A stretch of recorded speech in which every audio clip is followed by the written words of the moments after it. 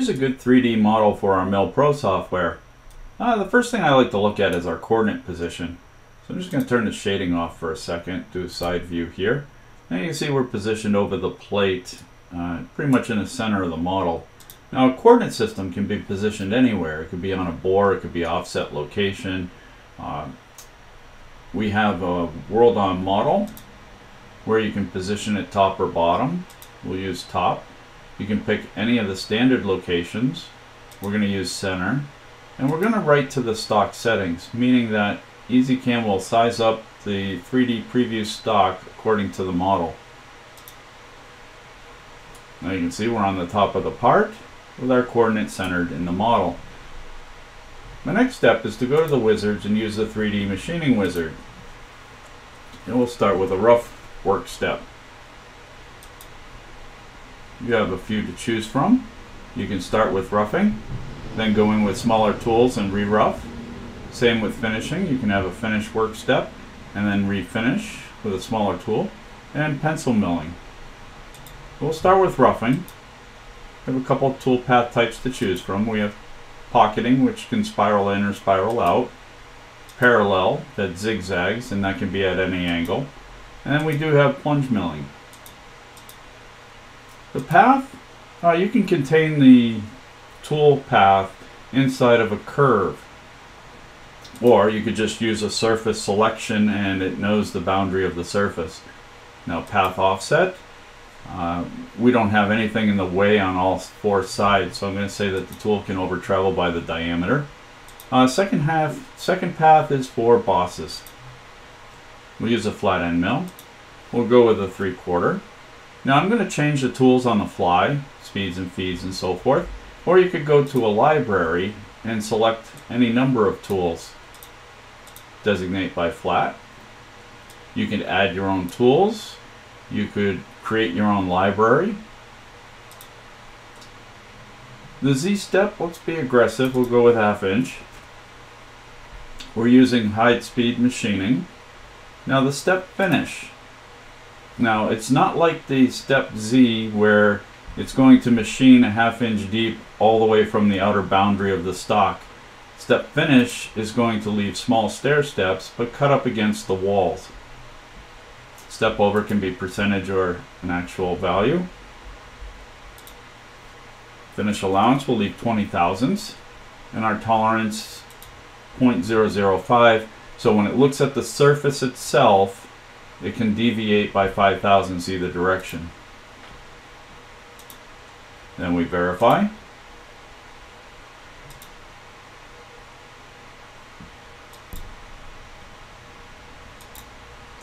Okay, at the top you can see there are arcs. That's our high-speed machining network.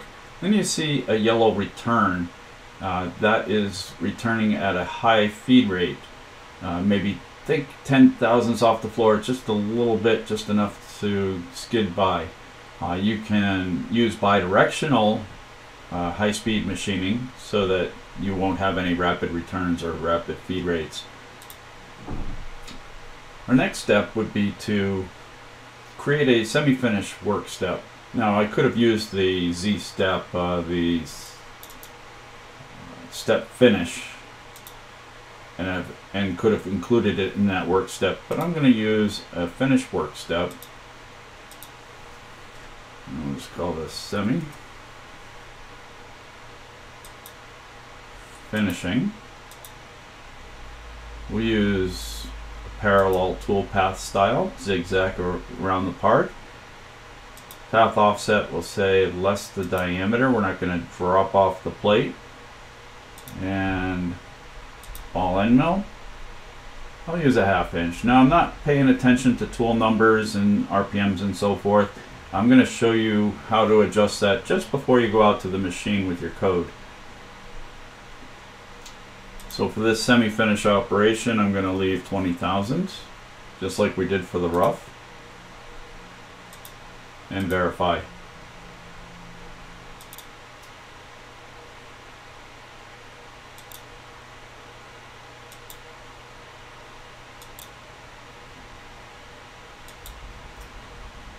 Now the vertical walls with this type of tool path were pretty much left alone.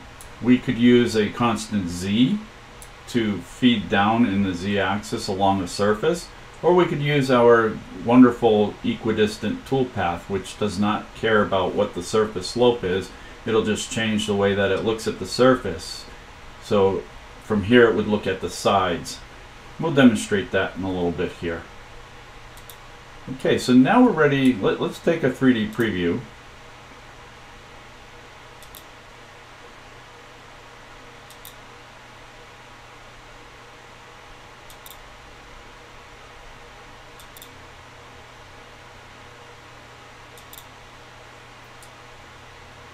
Now I'm using translucent stock. And how did I get there? You go to our stock setup. We could create an uncut solid that's going to compare the toolpath to the model to make sure all aspects of the model have been cut. You could use crash detection so that if you're not rapiding out of your part high enough, it'll detect the crash and stop at that work step.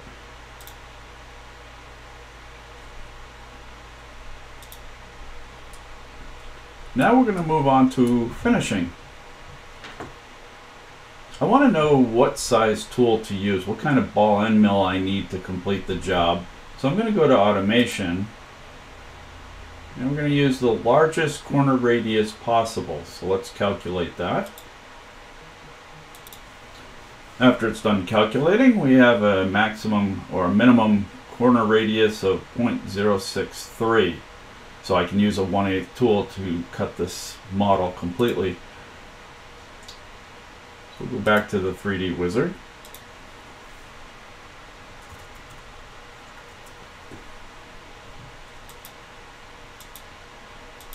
I'm going to use the 3D equidistant toolpath where it doesn't matter what the surface slope is, it's going to cut nice and uniform.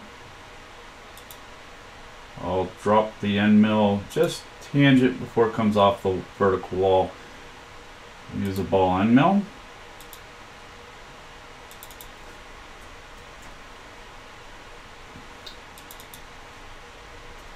Now the smaller the step over, uh, of course there's more lines to calculate, more code, and the smaller the tolerance, the better the part finishes.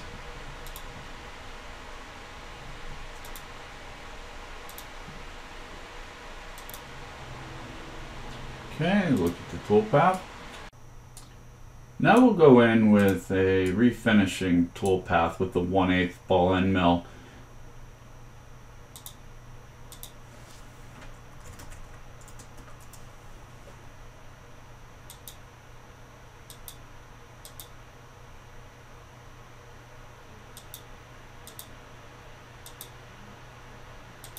You have a list of your operations here. You can jump back and go to previous work steps. And we're just going to refinish this work step right here.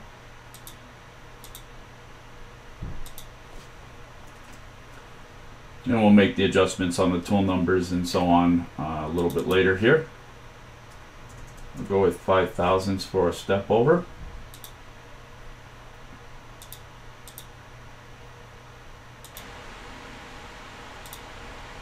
There's the work of our refinish with our 1 8 end mill.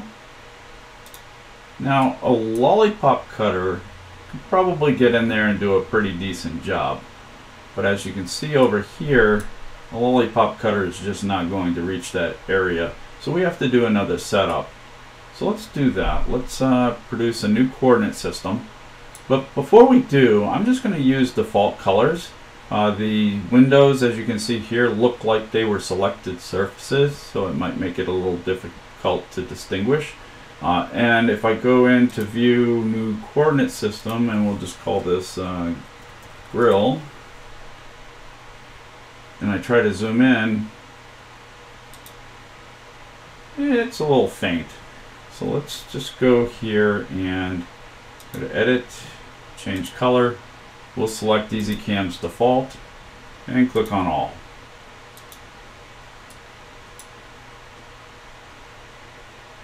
I'll go view world UCS on three points. Down in the lower right, it's asking me to pick the origin. Then it's saying x-axis direction. and y-axis direction. Top view.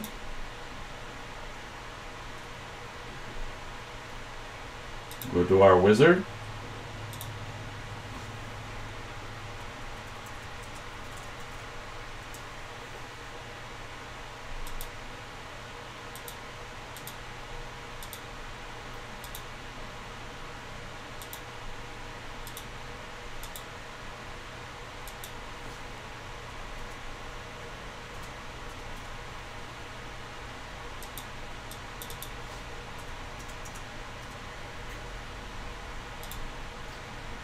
Now I'm just going to hand pick surfaces. So we'll use select cut surfaces.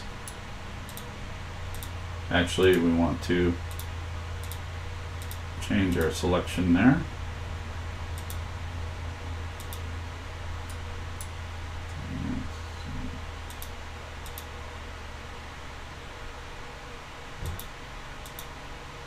Okay, we'll do those for examples. So I hit enter and we don't want to violate any of the surrounding surfaces when the ball end mill rolls over. So we're going to go to add check surfaces and select the entire model. The cut surfaces had disappeared, so they're not selectable.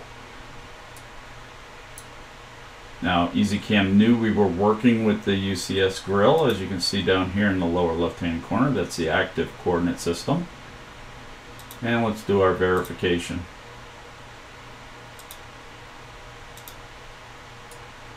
There is our toolpath.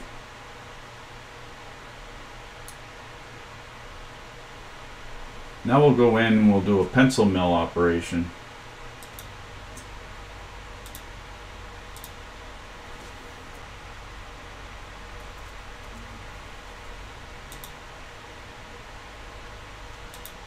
Pick pencil mill, ball end mill.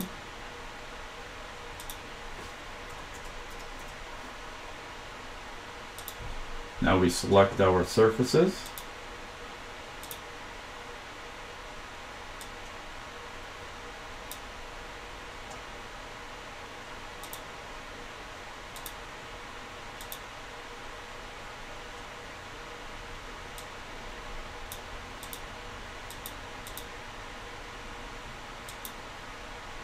Now let's see what we get for our toolpath.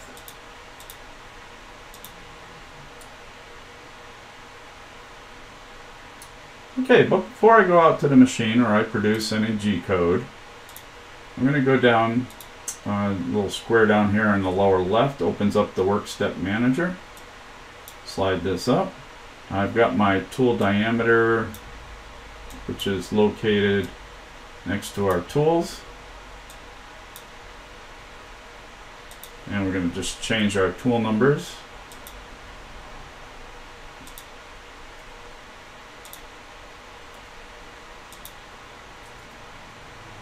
You can adjust your RPMs, your feed rates, and other attributes of each work step. Whatever I modify here gets updated here in the list box. Now we're ready for a full 3D preview. After we verify all, now we'll take a look at the finished product.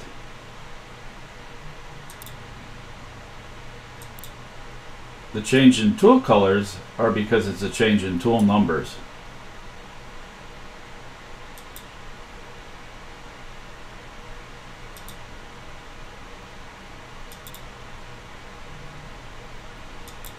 And here we have our vertical slope where Equidistant is doing a fantastic job of completing.